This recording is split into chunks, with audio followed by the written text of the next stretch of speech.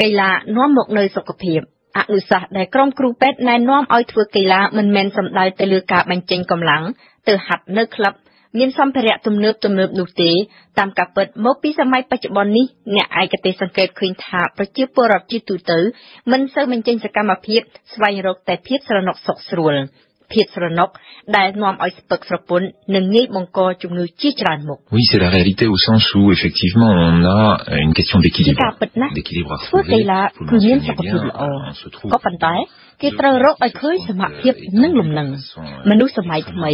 ពលគឺ10ចំនួនចុងក្រោយនេះកាន់តែបញ្ចេញសកម្មភាពតិចឡើងតិចឡើង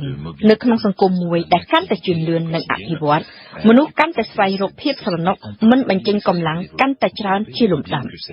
ហើយបើនិយាយអំពីរបបចំណីអាហារវិញសង្គមអ្នកជឿនលឿនអ្នកមានគ្មានទេលំនឹងនិងសមត្ថភាពនៅក្នុងការរស់នៅ មានតែការបញ្ចូលច្រើនតែបញ្ចេញ មានតែការលើកកម្លាំងច្រើនតែគ្មានកាបញ្ចេញធម្មពលនេះហើយគឺជាកង្វល់របស់សុខភាពសាធារណៈ Et c'est sur ce déséquilibre-là que se fonde toute la politique de santé publique.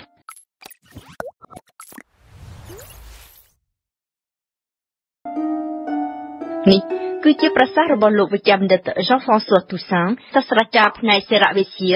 នៅសាកលវិទ្យាល័យប៉ារីដេកានិងនៅមជ្ឈមណ្ឌលវិទ្យាសាស្ត្រកីឡានិងជាប្រធានក្រុមអ្នកឯកទេសកីឡានិងសុខភាពរបស់គណៈកម្មាធិការអឺរ៉ុបសម្រាប់លោកសាស្ត្រាចារ្យពាក្យថាចូលធ្វើកីឡាគឺមានន័យស្មើនឹងលេងកីឡាបញ្ចេញសកម្មភាព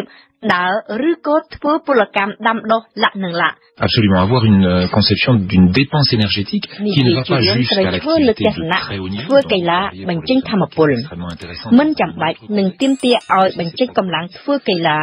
ដូចជាអ្នកមានអាជីពទេ ដែលពេលខ្លះក៏មានផលវិបាកដែរនៅក្នុងជីវភាពរស់នៅប្រចាំថ្ងៃឡើងជណ្ដើរ4ឬក៏5ជាន់ដោយជើងជិះកង់លេងនៅក្នុងក្រុង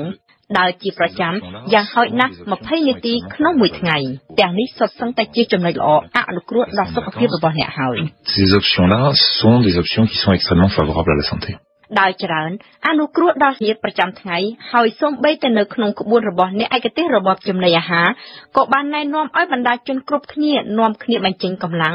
ដោយថ្មើរជើងក្រោយពីបានទទួលទានឬក៏បរិភោគអាហារដែលសម្បូរទៅដោយកាឡូរី ខ្លាញ់ឬក៏ធម្មពលច្រើនព្យុល យើងអាចហូបច្រើនលើសចំណុះលើសសេចក្តីត្រូវការរបស់សរីរាង្គកាយនៅពេលមានបុណ្យទានម្ដងម្ដងក៏ប៉ុន្តែវាគ្មានអ្វីគួរឲ្យព្រួយបារម្ភទេប្រសិនបើស្អែកឡើងយើងចេះបញ្ចេញសកម្មភាពដើរឲ្យបានច្រើន ពីព្រោះការដើរនេះអាចជួយដុតរំលាយអ្វីដែលយើងបានទទួលទានចូលទៅការដើរពិតជាមានប្រយោជន៍ខ្លាំងសម្រាប់សុខភាពមែនឬ ដើរគឺជាសកម្មភាពកីឡាដែលមានលក្ខណៈធម្មជាតិពិតៗនិងងាយអនុវត្តបំផុតប្រសិនបើអ្នកមានចេតនាចង់បញ្ចេញសកម្មភាពឲ្យមានប្រយោជន៍ដល់សរីរាង្គកាយនិងសុខភាពនោះ ជាកីឡាដែលមិនទាមទារសម្ភារៈបរិក្ខារពិសេសអ្វីឲ្យលើសពីស្បែកជើង ការដើរត្រូវបានគេចាត់បញ្ចូលទៅក្នុងក្រុមកីឡាប្រភេទអាកាសជីវីពលគឺជាកីឡាដែលអនុគ្រោះដល់ការស្រូបខ្យល់អុកស៊ីហ្សែនយកមកចិញ្ចឹមអតិសុខុមប្រាណនិងជាចំណែកមួយនៃការប្រឹងបញ្ចេញកម្លាំងដោយភាពអំណត់អ្វីជាការគួរឲ្យកត់សម្គាល់នៃកីឡាដើរនេះគឺគ្មានពាក្យថាផលវិបាកឬក៏គុណវិបត្តិឡើយ គុណវិបត្តិនិងផលវិបាកនៃការដើរជាទូទៅគឺបណ្ដាលមកពីកត្តាក្រៅខ្លួនប៉ុណ្ណោះមិនមែនបណ្ដាលមកពីសកម្មភាពដើរដោយផ្ទាល់នោះឡើយការដើរផ្ដល់ប្រយោជន៍ជាវិជ្ជមានច្រើន មានជាអាចបង្កើនសមត្ថភាពបេះដូងក្នុងការស្រូបខ្យល់អុកស៊ីហ្សែនកាត់បន្ថយម៉ាស់មាឌជាពិសេសសម្រក់ជាតិខ្លាញ់មានផលវិជ្ជមានសម្រាប់សម្ពាធសរសៃឈាម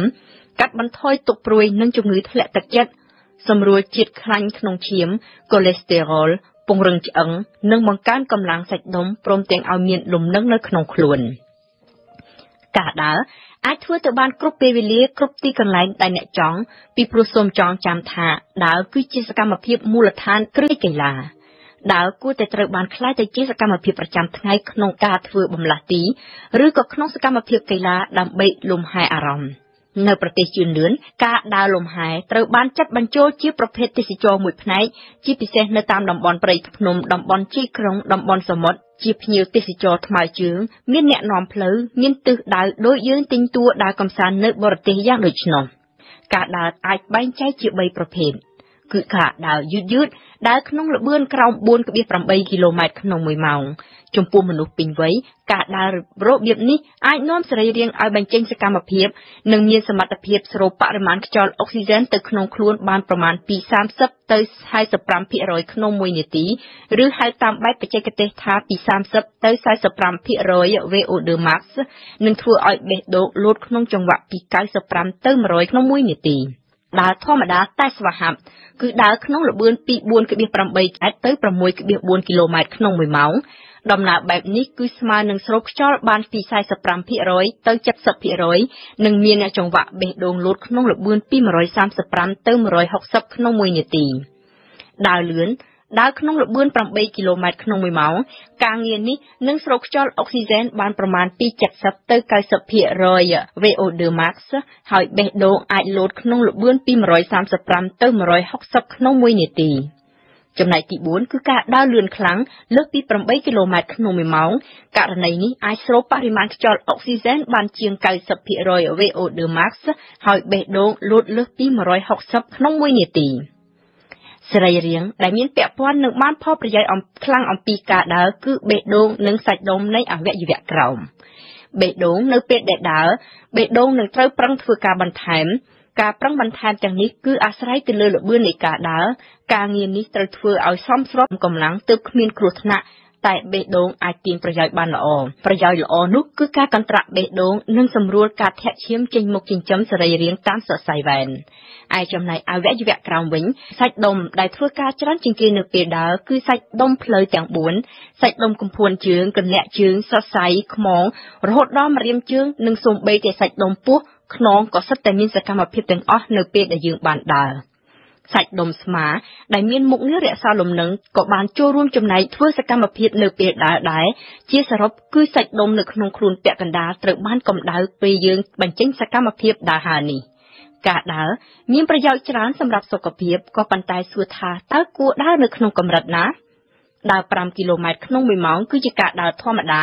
ស្មើនឹងការចំណាយថាមពល3ដងលើសការសម្រាកនៅស្ងៀម ក៏ប៉ុន្តែការបញ្ចេញធមពលដោយដើរនេះក៏អាស្រ័យទៅផងដែរទៅនឹងទម្ងន់របស់មនុស្សស្ថានភាពដីឬក៏ដើរក្នុងល្បឿនដូចគ្នាមនុស្សធាត់ចំណាយធមពលច្រើនជាងមនុស្សស្គមហើយដើរឡើងទួល ត្រូវការធមពលច្រើនជាងដីរាប